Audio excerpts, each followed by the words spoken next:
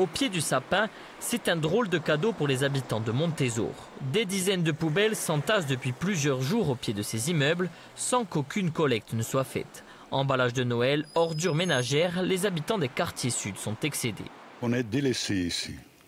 Vraiment, c'est la pourriture, on est des pauvres gens, des petites gens, là, on ne s'occupe pas de nous. Ils viennent nous chercher que pour les élections.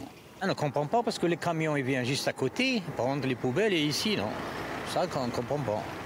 Vous avez l'impression d'être abandonné ici? Ah oui, là, les gens, ils ont marre, là. Hein. Ils, ont, marre. Les poubelles sont partout, à côté des voitures, euh, de partout. Personnellement, nous, les poubelles, on ne demande pas en avoir tant, donc euh, c'est vraiment compliqué à gérer, que ce soit pour nous ou comme pour toute la population euh, de ce quartier. Avec la crise des déchets, dans le Cap Corse, on collecte deux fois moins les ordures ménagères que d'habitude. Certaines poubelles sont pleines, mais la situation est moins critique. La difficulté pour l'intercommunalité, c'est de trouver des sites pour stocker ces déchets. Le problème, c'est que nous en avons à Tédim, parfois chez même Environnement, et parfois à Louré, ou, ou, parfois même les trois quais qui sont ouverts. Et nous partageons côte ouest, nord du Cap et côte est.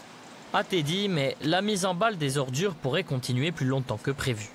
Le collectif Valincoline nous l'a confirmé.